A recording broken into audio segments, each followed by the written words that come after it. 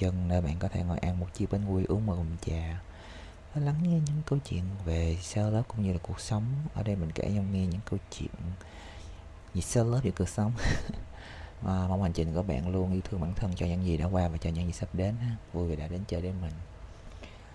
À, hôm nay thì mình sẽ làm um, chủ đề đó là một thông điệp. Không phải là một mà có thể là nhiều ha. Nói chung là từ bản thân bạn một cái thông điệp nào đó từ bản thân bạn đến chính con người bạn thôi. Tức nghĩa là một cái gì đó mà có thể là cái cơ thể của bạn, cái tâm trí bạn, cái cảm xúc của bạn, một cái gì đó mà nó ở bên trong bạn á, nó muốn nói với bạn thôi. Thì ờ, cái này nó giống như kiểu là một cái việc, gọi là, quán chiếu hoặc là quan sát lại bản thân á. Thì hy vọng mọi người có thể rút ra được một cái gì đó ha. Một, hai, ba, thì mình sẽ để ra vào sau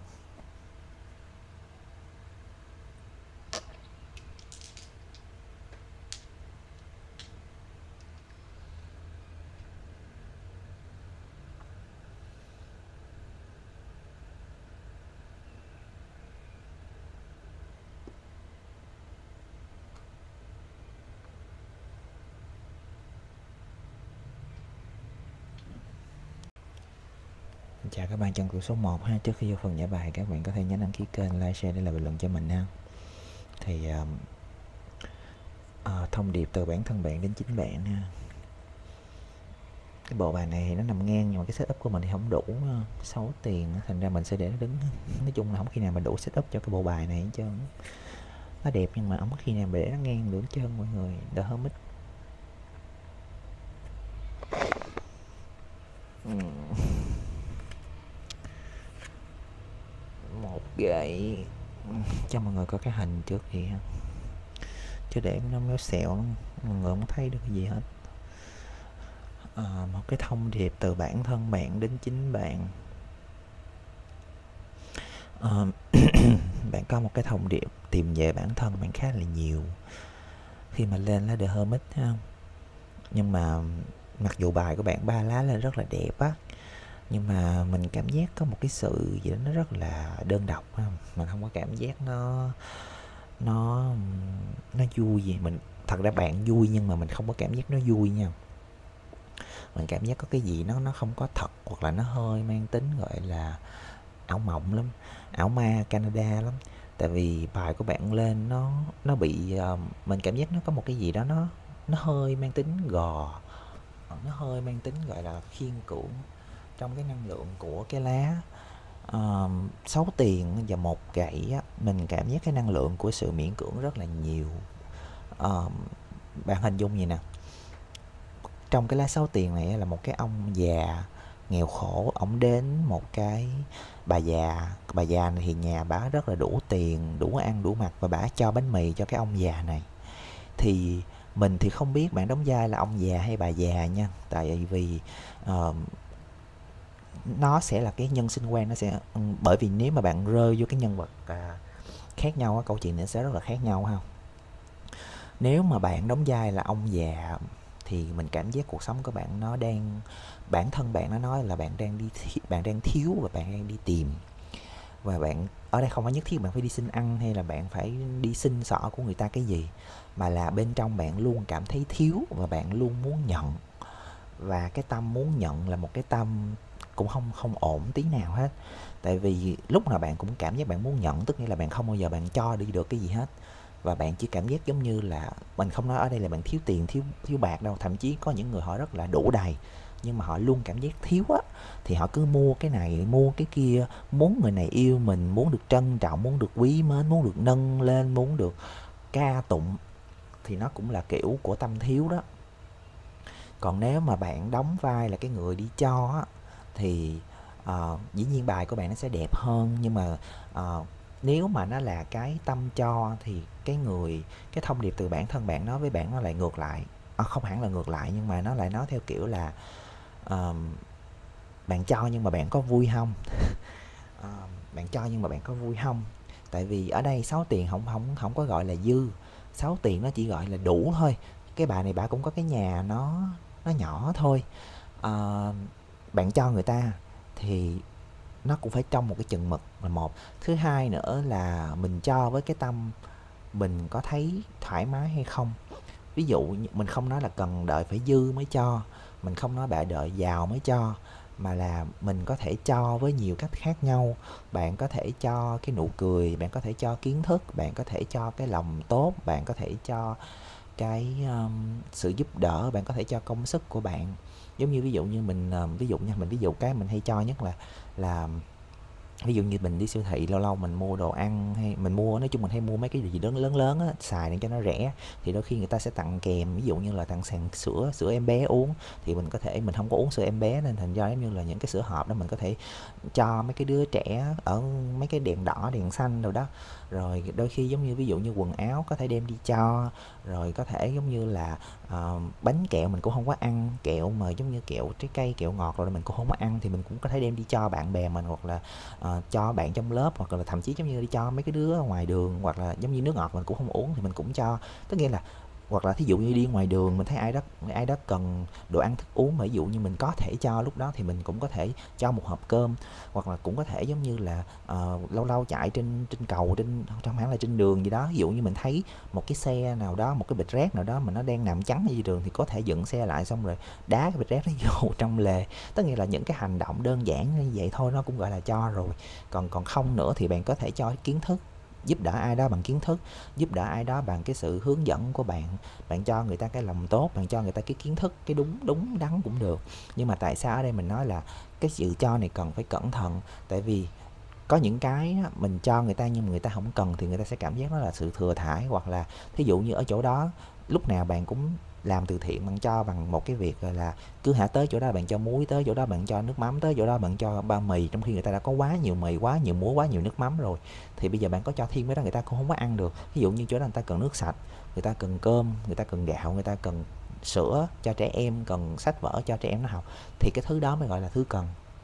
Thì mình cảm thấy cái thông điệp mà gọi là từ bản thân bạn đến bạn đó, đó là nếu mà bạn đóng vai là người bạn cho thì Ờ, nếu bạn đóng vai là người cho thì hãy chắc chắn rằng cái hermit ở trong tức nghĩa là cái cái sự cho của bạn là sự cho có kiến thức có tri thức. Bạn cho ai cũng được bạn cho bản thân bạn cũng được tại vì một ngày tức nghĩa là bạn đang cố gắng làm những cái gì đó tốt. Nhưng mà giống như mình nói cố gắng thì là điều tốt. Nhưng mà hãy là nỗ lực và cố gắng trong cái chừng mực trong cái giới hạn. Bao giờ mình còn cảm thấy vui mình còn cảm thấy cái niềm san sẻ cái cái việc mà mình cho đi cái việc mình trao tặng hoặc là cái việc mà bạn làm gì đó cho bản thân bạn vui á nó mang lại lợi ích á, thì bạn hãy làm còn nếu mà bạn chỉ làm mà chỉ đơn giản bởi vì bạn nghĩ là mình phải làm mình cố gắng làm mình phải tìm cái này vui cái kia vui cái nọ vui để bạn làm cho bản thân bạn nó vui thì nó không có gọi là cho niềm bản thân mình niềm vui mà nó gọi là mau chán không có thấy được cái định hướng gọi là mau chán thích cái này thích cái nọ. Còn nếu mình là lúc nào cũng là người thiếu và lúc nào mình cũng đi xin của người này uh, muốn của người kia và lúc nào làm cũng làm cái gì cũng cảm giác giống như mình chưa có thật sự đủ đầy á, thì mình bạn nhìn đâu bạn cũng thấy thiếu á. Bạn nhìn đâu bạn cũng không có thấy đủ hết trơn á. Và lúc nào bạn cũng cảm giác bạn chỉ muốn nhờ vả người ta bạn không bao giờ tự làm hết.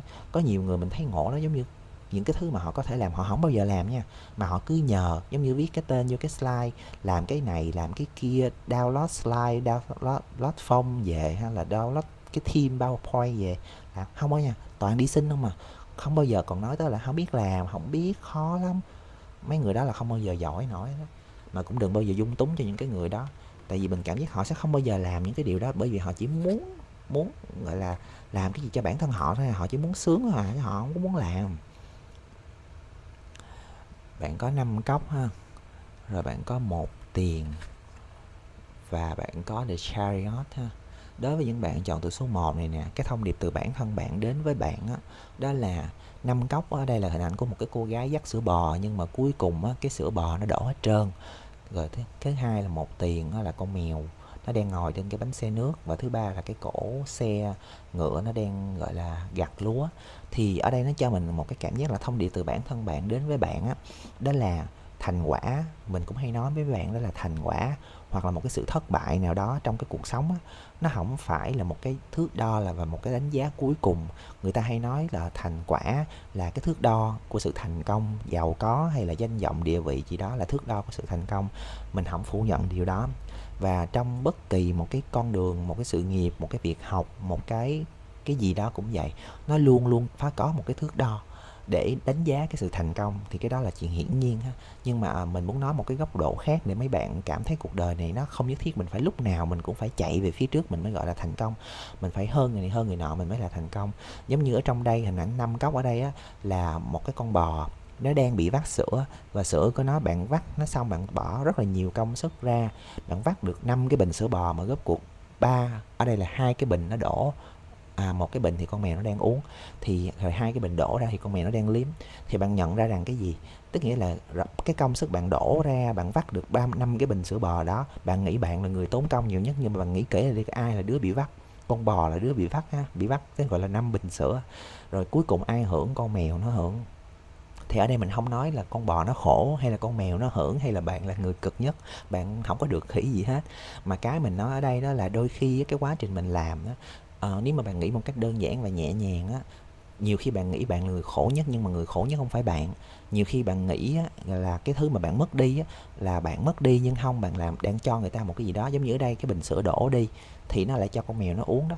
Con bò nó không la thôi mắc gì tới bạn đúng không? Rồi tới hỏi bạn bắt sữa con bò bạn đem đi bán hay bạn đem đi đi uống gì đó hôm nay con bò nó chửi bạn? Thì mình cảm giác ở đây đó là một tiền, tức nghĩa là trong nguyên tắc, trong cuộc đời này giống như bài của bạn lên là bạn có cho đi thì bạn sẽ nhận lại. Thì mình cũng không thể nào nói với bạn là bạn cho cái gì đó đi, bạn sẽ được nhận lại cái gì đó, nó đúng thành quả của bạn, nhưng mà đôi khi mình cho đi rồi mình sẽ nhận lại thôi, bằng cách này hoặc là bằng cách khác.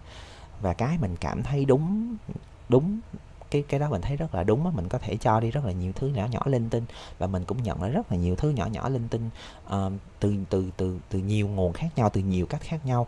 Giống như ví dụ như đi ra đường nhiều khi xe mình hư nhưng mà mình chỉ cần dắt bộ một chút xíu là đã có chỗ sửa xe rồi hoặc là sẽ có uh, hoặc là giống như là uh, ví dụ như cái uh, giống như mình quay clip như thế này đi thì mình ít khi nào mình nói mọi người hãy donate tiền cho mình hay là hãy cho mình cái gì đó đi hoặc là mọi người cho mình vẫn từ chối mọi người rất là thường xuyên.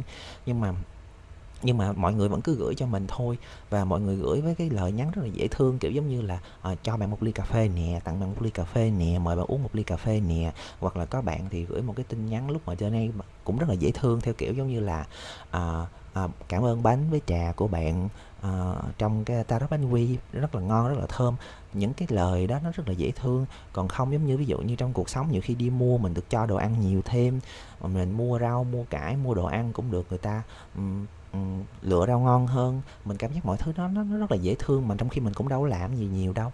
Thì mình cảm giác là vậy á, là cái thứ nhất ha cái thứ hai nữa là mình nói về cái việc thành quả và kết quả cũng như là cái quá trình mình không phủ nhận được cái việc gọi là thành quả và kết quả nó là thước đo nha. Mình vẫn phải khẳng định như vậy. Giống như ví dụ trong cái việc học của mình mình mình tốt nghiệp loại giỏi trong cái tiếng Anh của mình nhưng mà cái điểm phải của mình nó chỉ khoảng 8.8.3 đến 4 thôi.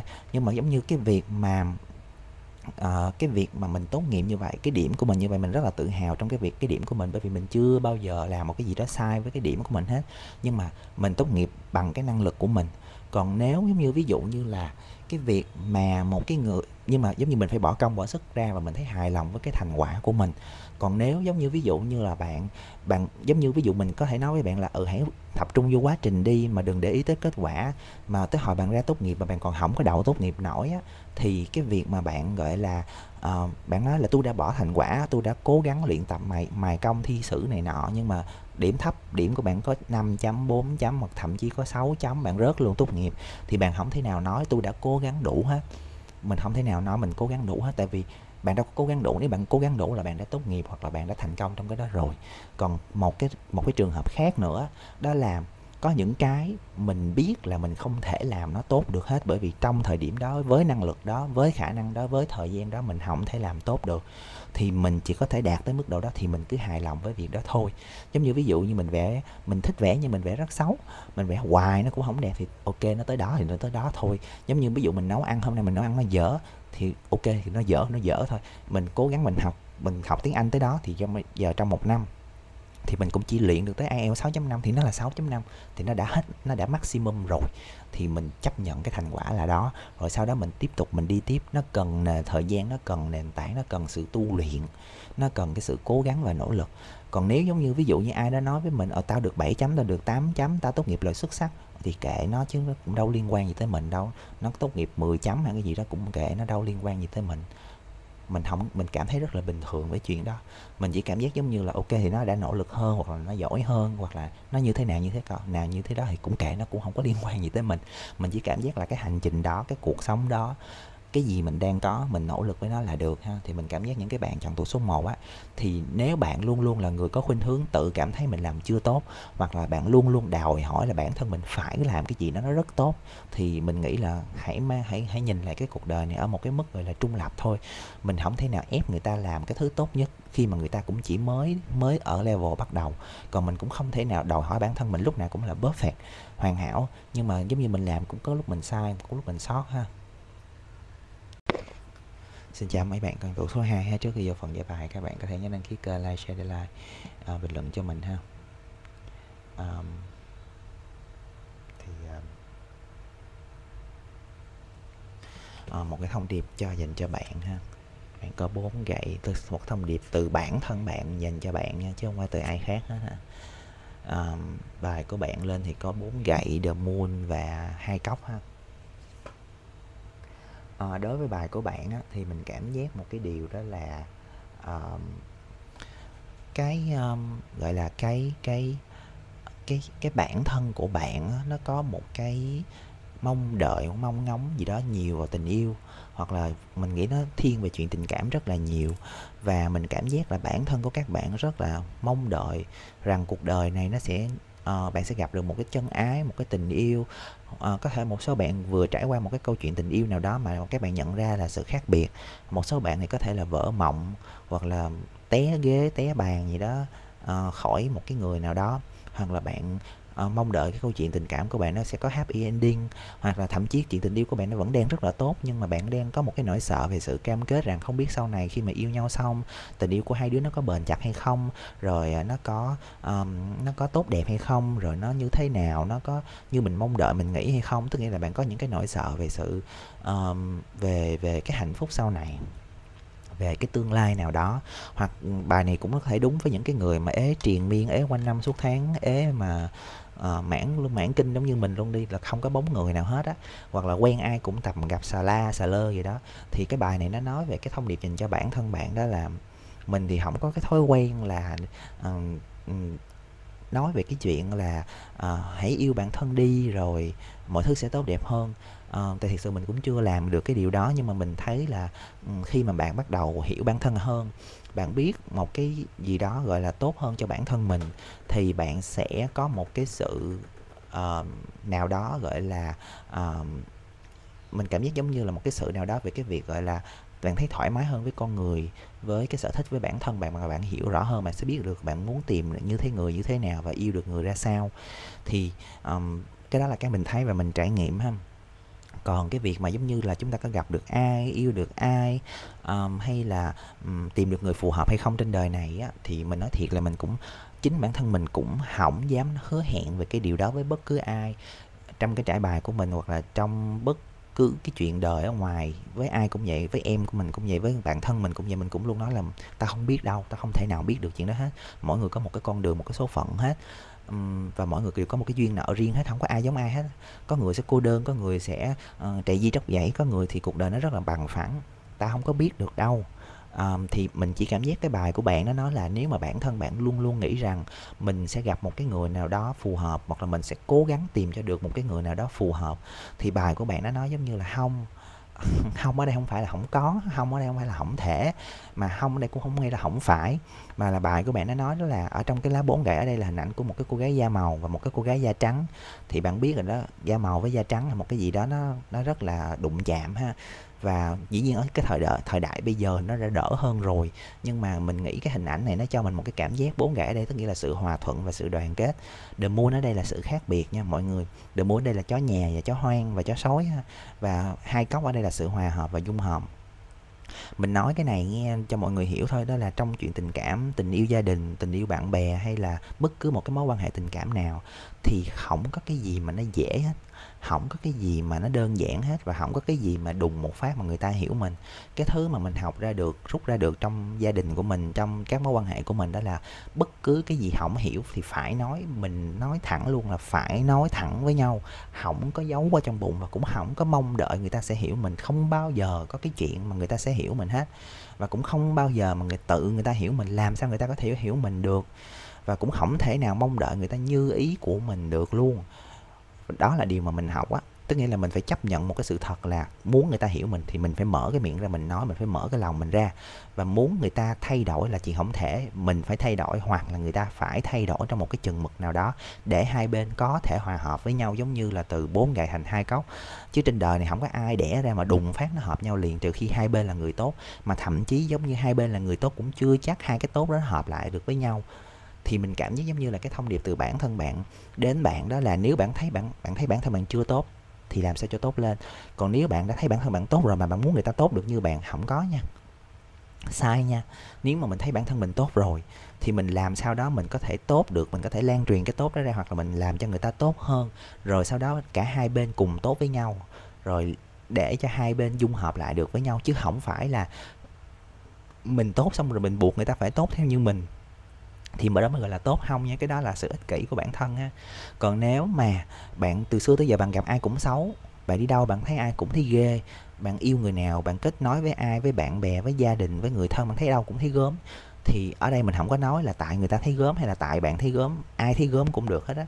Nhưng mà bài nó nói đó là không có cái gì đẻ ra sẵn mà nó nó bằng phẳng, mà nó nó trơn tru mà nó đúng hết cái gì nó cũng cần thời gian để nó điều chỉnh, nếu mà hợp thì chơi không hợp thì nghỉ nếu mà người ta thay đổi thì tốt, người ta không thay đổi thì thôi. Kệ người ta. Quan trọng là mình mình kết nối với ai, mình yêu ai, mình gặp được ai. Và nếu người đó phù hợp với mình, nếu mà người ta chịu làm việc với mình, và nếu mà mình cứ chờ đợi, mong mỏi và khát khao tìm kiếm được một cái người nào đó mà họ đúng như mình mong đợi, hoặc là mình cứ chờ hoài, chờ mãi mà mình không thấy ai thì thôi, tốt nhất đừng có chờ nữa. Mình cứ đi về phía trước đi, rồi biết đâu đó một ngày đẹp trời khi mà mình đẹp đẽ, mình gặp gỡ được ai biết được nhiều khi chó sói chó quan nó cũng là chó là nhiều khi hai con nó đi chung với nhau nếu mà bạn nào có coi phim mà mà mà con chó với con cáo á, mà hai con nó là bạn thân của nhau á, thì bạn cũng sẽ hiểu được cái thông điệp này ha. Nói chung cái trải bài này thì nó hơi nặng đô nhưng mà thời gian này không có cho phép nói nhiều ha. Chứ thiệt sự mấy cái trải bài này nó rất là hay. Ngồi nói cả buổi một cái tụ bài cũng được có ba chục phút luôn á chứ đừng nói làm chi mà chỉ có 10 phút ha. Judgment ha bảy kiếm ha.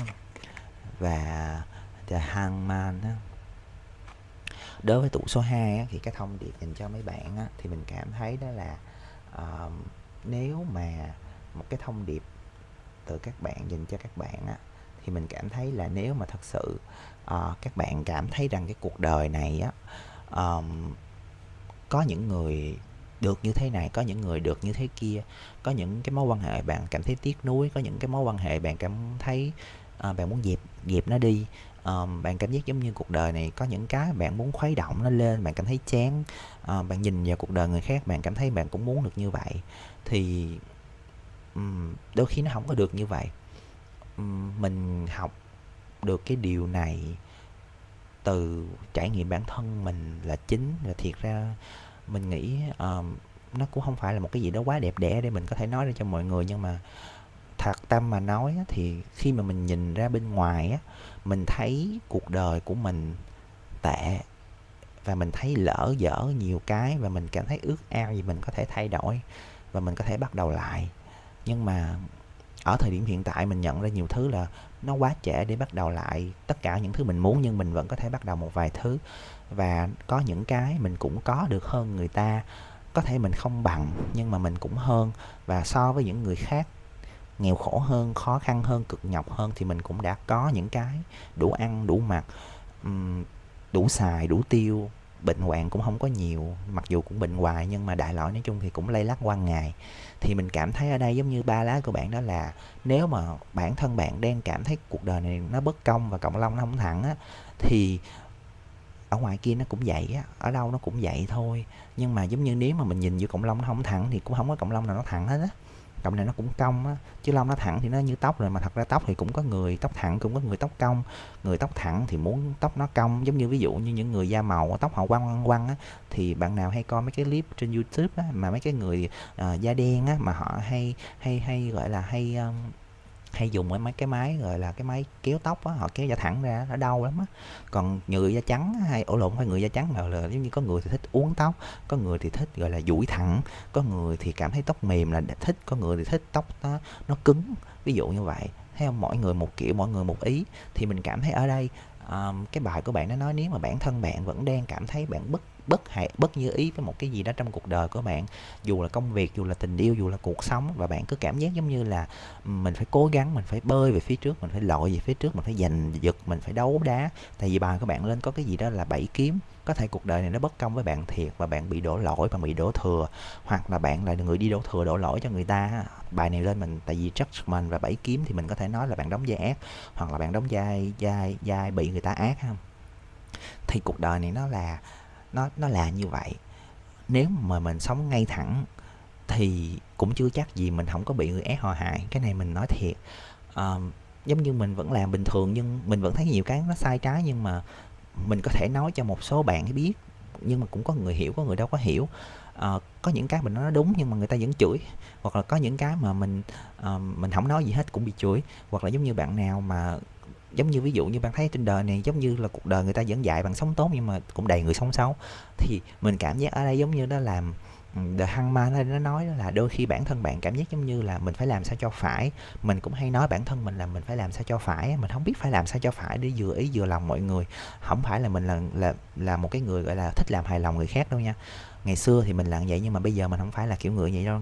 Ngày xưa thì mình sẽ là cố gắng sống làm sao dung hòa nhất um, mình không lấy lòng người ta nhưng từ xưa tới giờ mình không bao giờ thích là người đi lấy lòng người ta. Nhưng mà mình là kiểu người không có muốn va chạm mình rất là ngại sự va chạm bởi vì mình cảm giác nó rất là phiền toái mình cảm giác nó rất là căng thẳng mà mình cảm giác rất là mệt mỏi. Nhưng mà bây giờ mình cảm giác giống như là cái mẹ nó kiểu giống như đứa nào đụng thì tao tao trụng thôi. Nhưng mà mình sẽ trụng theo kiểu giống như là mình sẽ rạch ra một cái ranh giới rõ ràng. Và The Hangman ở đây nó nói với mình theo kiểu đó là cố gắng làm một cái gì đó sao cho nó vừa phải cho sao cho nó đúng thôi. Mình không thể nào làm được hết tất cả. Nếu mà bản thân của các bạn đang nghĩ rằng á, là um, mình phải hành xử như thế này nó mới đúng hành xử như thế kia nó mới phải. Ở đây mình không nói là mấy bạn không được không không phải là không biết cách hành xử hay là bạn buộc bản thân bạn phải hành xử như thế này như thế kia mà là nó có một cái sự tương đối, nhưng mà cái sự tương đối của bạn nó phải đúng nha. Chứ không phải mình kêu mấy bạn sống vô đạo đức hay là sống không có đúng theo quy luật là không đúng nha. The hangman tức nghĩa là nếu mày làm sai là mày sẽ bị treo lên. Chất để cho mày nhìn thấy được cái quan điểm, cái góc nhìn đó. Chất mình đó nghĩa là mày sống đúng thì nó, cuộc đời nó đúng, mà mày sống sai là cuộc đời nó sai. Bảy kiếm tức nghĩa là cái kim trong bọc này nó thấy ngày nào nó cũng có ngày nó lồi ra. Thành ra nếu mà bản thân bạn đang có những cái suy nghĩ những cái dằn vặt những cái tơ tưởng nào đó về cái việc là mình sẽ sống sai để bởi vì cuộc đời này nó nó nó, nó cũng sai á, là chết nha không có đúng nha là đời hăng mai tức nghĩa là sẽ có ngày bạn sáng mắt ra ha. Tại vì mình thì không có dám nói về những cái thứ gọi là cao xa như nhân quả hay là karma hay là cái gì đó mình không bao giờ đụng tới mấy cái phần đó. Tại vì không không có tới lượt mình nói mấy cái chuyện đó. Nếu bạn tin thì bạn sống theo đường đúng. Còn nếu bạn thấy không đúng thì bạn cứ sống theo cách mà bạn muốn thì cuộc đời này nó vả. Bạn kiểu gì là là do bạn ha. Thì mình chỉ cảm giác giống như là cái điều mà mà cái cái bản thân bạn nó đang cố cố nói với bạn đó là uh, thôi kệ mình cứ sống một cái cuộc sống thì mọi gọi là mọi thứ nó sẽ an bài đúng như cách của nó. Nếu bạn làm điều tốt thì những cái thứ tốt nó sẽ lan tỏa ra còn nếu bạn đã sống xấu thì bạn sẽ nhận lại cái xấu mà bạn do bạn lan tỏa ra. Xin chào các bạn chọn tổ số 3 trước khi vào phần giải bài các bạn có thể nhớ đăng ký kênh like share làm bình luận cho mình ha. Thì uh, một cái thông điệp từ bản thân bạn đến bạn ha. Bốn tiền. Sáu kiếm. Và The Tower. Ngộ. Thiệt có nhiều khi mình cũng tò mò tại sao mình có thể kiểu giống như 78 lá bài mình thó kiểu gì nó cũng ra được được Tower không tụ này cũng tụ kia nhiều khi mình cũng tò mò lắm luôn á. Nhưng mà nói chung thì ai biết ha. Mình thấy thó ra cái lá lá nó lắm luôn á. Mặc dù mình cũng chả bao giờ thích nó giống người ta nó ghét của nào trời trao của đó. Không nhưng mà không con đâu ghét đâu. Con đất không lẽ mình đâu mà thích Tower no no. À, gọi là gọi là một cái thông điệp từ bản thân bạn dành cho bạn ha? À, mình nghĩ á, là cái thông điệp này rất là hay. Bốn tiền đó là người giữ của là người hay cố gắng giữ hoặc là cố gắng bảo vệ hoặc là hay cứng đầu cố chấp với cái gì mà họ đã và đang có. Giống như cái ông này ông có bốn cái cuộn rơm và ông nói là bốn cuộn rơm này là của tao không có ai được chạm vào gọi là à, đứng đó nhìn thôi không có chạm vào bốn cục rơm này sáu kiếm tức nghĩa là đến một lúc nào đó thì ông này ông cũng phải đi chỗ khác để ông đi đu đỡn ông đâu thể nào đứng ở cái chỗ đó ông ôm bốn cục rơm này ông sống. Ông cũng phải đi ăn ông cũng có nhu cầu cá nhân ông cũng cần phải ờ, đi chơi đi hóng mát đi vệ sinh đi đâu đó rời khỏi cái bốn cái cục rơm này và đùng một phát trời đánh cháy hết mẹ bốn cái cái cụm rơm đó hoặc là giống như là có cái gì đó uh, nó nó xảy ra thì bốn cái cụm rơm nó cũng phải bay đi giống như là uh, mưa ướt hoặc là giống như nếu mà bạn nào có từng uh, ra cái ruộng rơm á, thì bạn sẽ biết ha. Rơm phơi khô cũng cực gom lại cũng cực mà tới hồi nó ướt rồi là đem đi dục quá tại nó móc với nó thúi không có xài được nha. Phải đem đi cất.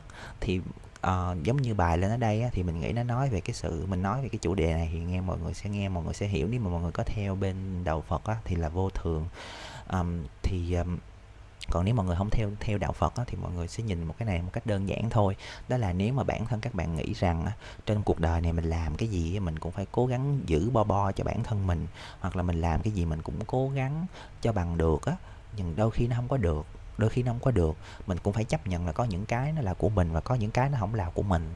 À, và à, đôi khi á, như cuộc đời này có những cái nó dành cho mình và có những cái nó không có dành cho mình. Dù là mình có cố như thế nào dù mình có bảo vệ nó như thế nào cái này nó sẽ nói đúng với những cái người à, dù bạn đang trong cái mối quan hệ hay là bạn đang trong một cái công việc nào đó một cái tình cảm nào đó một cái tình bạn nào đó đúng hết với mọi trường hợp. Tại vì có những cái mình cố gắng giữ mà mình giữ không có được. Giống như bạn có thể yêu một người rất là nhiều bạn có thể quỳ lại van xin nó bạn có thể gọi là làm tất cả nhưng mà người ta muốn đi là người ta đã đi người ta sẽ đi à, người ta không yêu bạn là người ta không yêu bạn bạn có làm gì người ta cũng không yêu là không yêu. À, trong công việc cũng vậy bạn sống chết đang làm công việc đó nhưng mà tới hồi nó đuổi là nó đuổi nó. Hoặc là giống như ví dụ như là bạn có giống như trong trường hợp của mình cũng vậy mình là người bị sếp mình bắt nạt xong rồi mình báo lên sếp tổng của mình cuối cùng sếp tổng nói là để anh giải quyết cho em và anh sẽ gọi điện thoại lại cho em sau đó gấp cuộc người bị đuổi là mình. Còn cái người bắt nạt mình họ vẫn ngồi trơ trơ đó họ vẫn là trưởng phòng thôi. Người ta thí con tốt chứ người ta đâu có thí con tượng thì cuối cùng mình là người ê chề phải phải đi trong khi tất cả mọi người đều biết mình là người đúng, mình có đầy đủ chứng cớ để phản bác lại cái chuyện đó. Nhưng mà mình cũng lập hết nguyên cái chứng cớ đó ra, mình báo cho sếp, mình sếp mình chỉ im lặng thôi đó. Cái sếp tổng luôn á, họ nói, anh hiểu rồi, anh anh sẽ cố gắng giải quyết cho em. Xong rồi cuối cùng mình là đứa bị đuổi đó. Mà cái đó là công ty lớn, đó là tập đoàn lớn đó nha đó không phải là tập đoàn nhỏ đâu nha. Mà mình là người bị đuổi người ta thí con tốt chứ người ta đâu có thí con tượng đâu. Và cái người sếp lớn đó cũng là cái người nổi tiếng, đã từng đuổi rất là nhiều người mà sếp nào cũng biết hết. Nhưng mà cuối cùng người ta vẫn thấy con con tốt chứ người ta đâu có thấy con tượng đâu. Thì bài đây lên bốn tiền và sáu kiếm đó là có những thứ bạn cố gắng giữ, bạn có làm đúng hết mà đôi khi nó xảy ra là nó xảy ra thôi. Thì mình cảm giác ở đây giống như đó là nó sẽ đúng với những cái bạn nào mà có cái khuynh hướng là không có chịu thay đổi hoặc là cố chấp với sự thay, cố chấp không chịu nhìn nhận vấn đề giống như ngày xưa mình đã thấy cái tình huống đó rồi. Nếu mà mình biết trước thì mình cũng đã đi rồi mình đâu có ở lại chi để mình nhận cái sự e chè đó đúng không? Cũng giống như trong những cái mối quan hệ um, mình cũng từng chia sẻ trên những cái clip của mình đó là mình có từng có một cái mối quan hệ mà mình nghĩ người ta tốt. Và mình nghĩ rằng là mình sẽ cố gắng mở mở lòng với người ta mình kiên nhẫn với người ta và mình mình cố gắng cố gắng tốt với người ta để người ta nghĩ không phải là để người ta nghĩ rằng mà mình tin rằng là cái người có kiến thức như vậy người có học thức như vậy người có trình độ như vậy họ sẽ hiểu và họ sẽ thay đổi nhưng mà không cuối cùng họ đâu có thay đổi đâu. Và cuối cùng cái cái cái người cần phải nhận thức và thay đổi lại là mình á tất nghĩa là mình nhận ra là mình không đủ kiên nhẫn mình cũng không đủ uh, mình cũng không đủ mình cũng không đủ kiên nhẫn với người ta mình cũng không đủ thứ tha mình cũng không đủ bao dung luôn. Và và mình nghĩ là mình cũng đã cho người ta đủ cơ hội nhưng mà đáng tiếc là giống như Giang Sơn dễ đổi bản tính khó dời người xấu vẫn là người xấu. Thì mình cảm giác ở đây ba cái lá này nó giống như kiểu là có những cái uh, bạn có làm cái gì đi chăng nữa bạn có ở đây thì mình nói theo kiểu là thoải mái nhẹ nhàng thôi bốn tiền hồi nãy giờ mình nói mình là nạn nhân mình nói các bạn cũng là nạn nhân nha.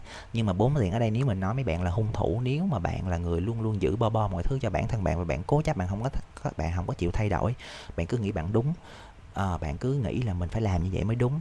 Thì mình nói là mình cũng hay nói đó là vỏ quýt dài thì có móng tay nhọn đó nhiều khi bạn cứng đầu bạn cố chấp. Thì mình nghĩ ra được một cái điều đó là người nào thì sẽ gặp đúng được cái người như vậy. Thì nếu mà bạn là người xấu thì đôi khi bạn bạn xấu như bà vậy thì bạn cũng có thể gặp được một người xấu hơn.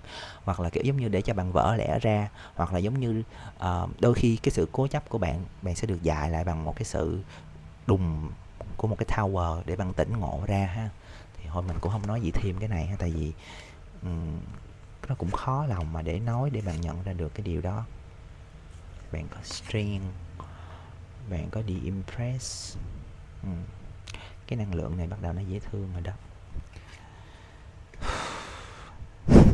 Một kiếm hôm nay ba tụ lên ba lá một luôn ha. Ba lá một.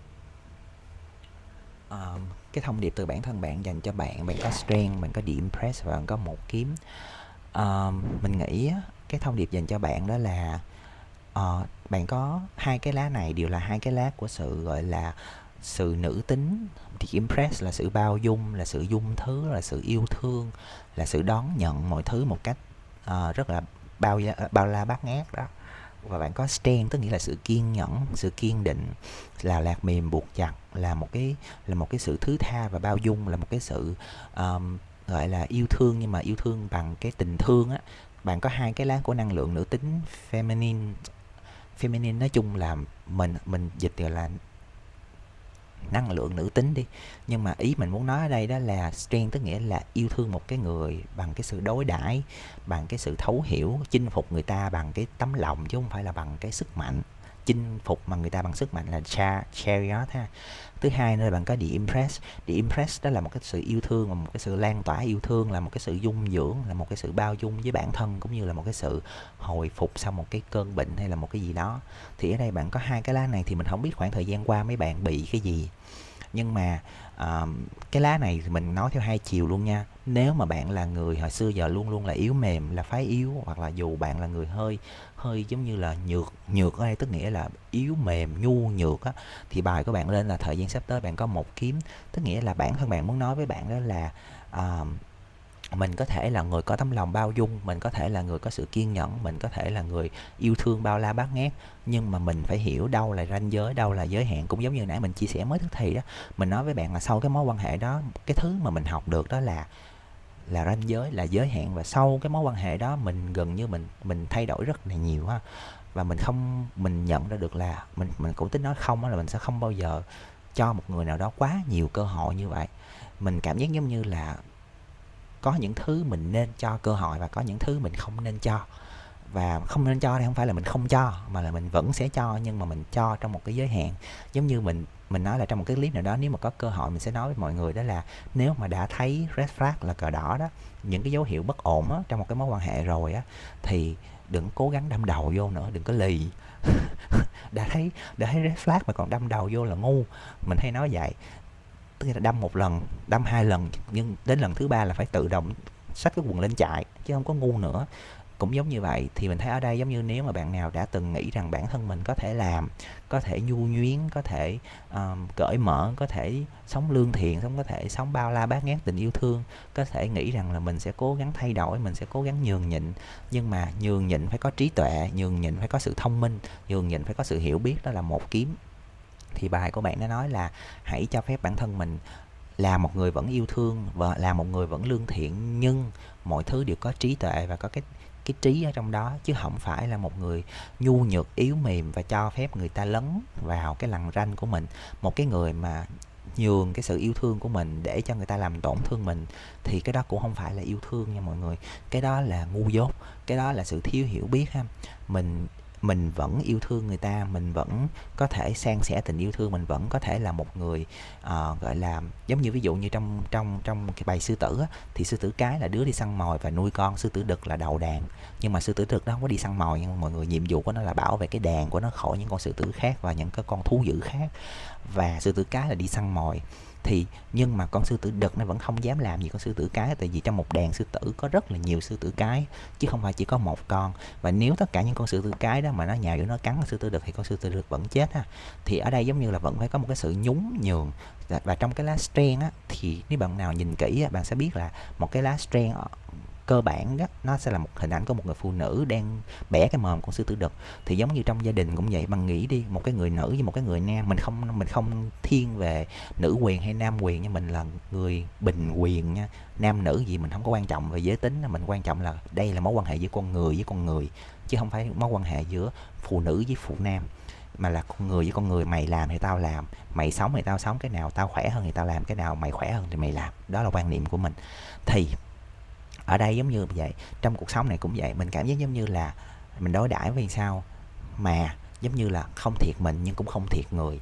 Thì bài của bạn nó lên, nó nói đây đó là cái thông điệp mà bản thân bạn dành cho bạn đó là trong trong bất kỳ cái mối quan hệ nào, mình yêu thương người ta, mình mình chia sẻ với người ta, mình muốn tốt cho người ta nhưng mà chưa chắc người ta muốn, chưa chắc người ta cần.